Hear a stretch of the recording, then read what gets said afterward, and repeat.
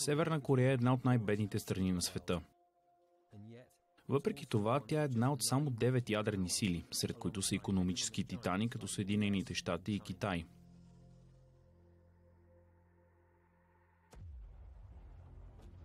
Севернокорейските балистични ракети с голям обсек са способни да атакуват почти всяка точка на света.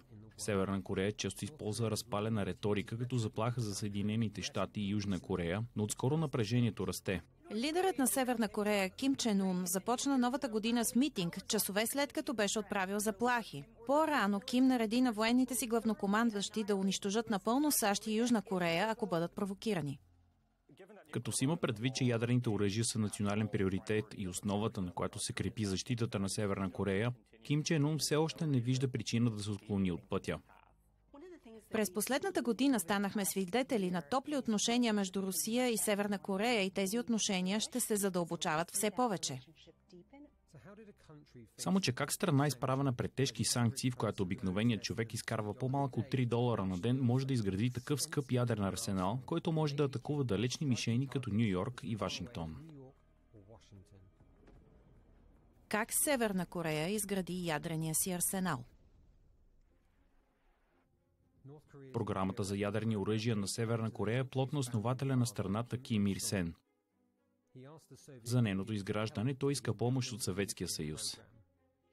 Тогава той твърди, че ще я използва за мирни цели и енергоснабдяване, но под неговото ръководство програмата претърпява голяма промяна и бива използвана за военни дейности.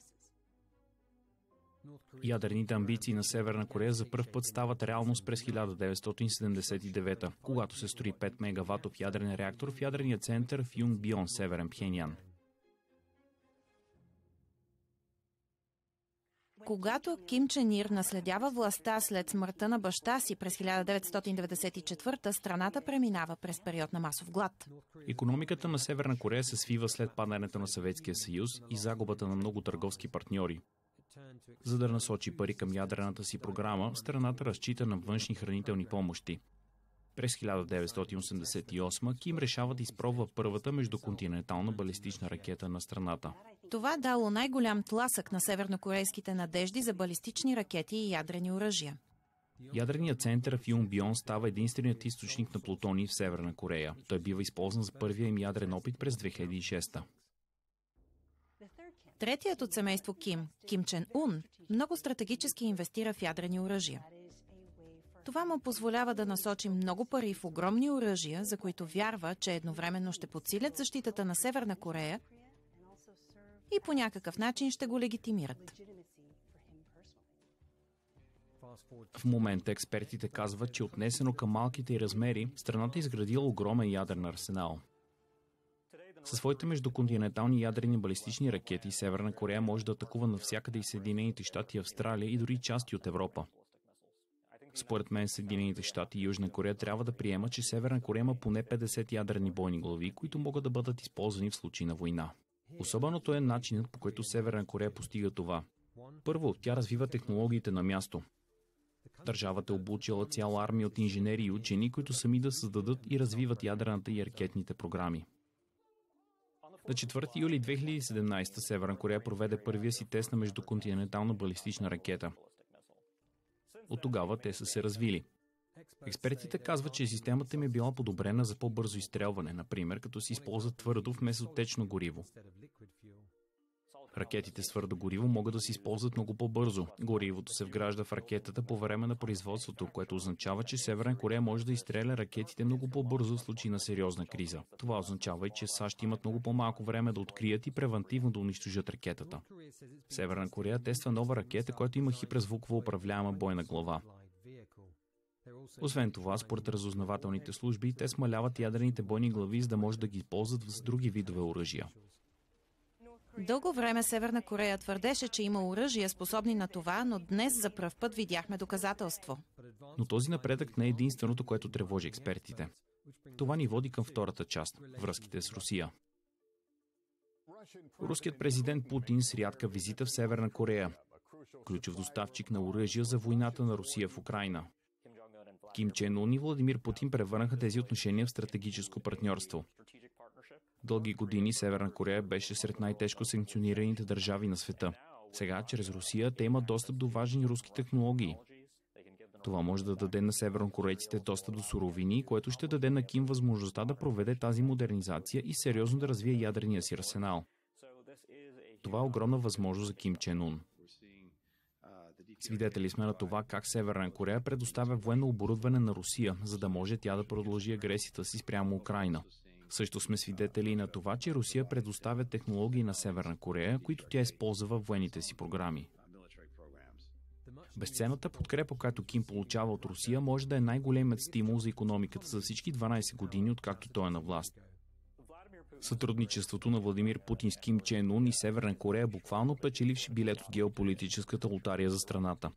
Русия може да предостави на Северна Корея хранителни продукти, които да облегчат част от економическите страдания на хората, както и защита за Северна Корея пред ООН. Както Русия, така и Северна Корея отрича, че имало пренос на оръжия. Но помощта на Северна Корея често влиза във вестниците, защото авторитарната страна предлага военна помощ и на други държави и организации. Генералният щаб на Сеул каза, че снарядите, открити в близост до израелската граница, най-вероятно са произведени от Северна Корея. Те искат да покажат на целия свят с какво разполагат. На трето място Северна Корея предприела политика на Сунгун, което в превод значи армията над всичко.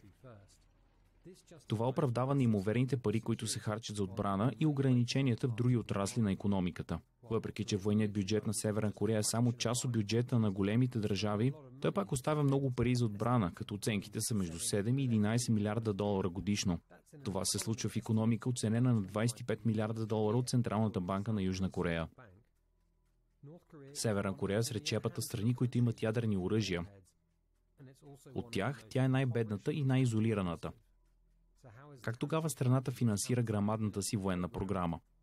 Отговорът отчасти е свързан с киберпрестъпленията. Властите в САЩ вярват, че около 40% от бюджета на ядрената програма произлиза от киберкражби. В случая на Северна Корея е много трудно да се проследи откъде отиват парите, защото всичко е собственост на държавата и се управлява от държавата. Всички работят за държавата, а това означава, че в един вид всички осигуряват средства за ядрената програма. Северна Корея заобикаля санкциите от десетилетия и според доклад от съвета за сигурност към ООН изпраща работници в Русия и Китай, за да изкарват твърда валута. Освен това, според доклад на хуманитарна организация, тя печели милиарди от търговия с наркотици, оръжия и фалшифицирани пари. Какво обаче Ким Чен се стреми да постигне със своя ядрен арсенал? Ким продължава да действа разумно. Основната му стратегическа цел е да може да остави военна мощ за следващото поколение Ким и да гарантира, че системата в Северна Корея ще продължи да съществува. Директна намеса във война би противоречала на тази цел. Затова Ким Чен Ун не се готви директно за война. По-скоро той иска Северна Корея да може да се бори в случай, че война има, било то с конвенционални или ядерни оръжия.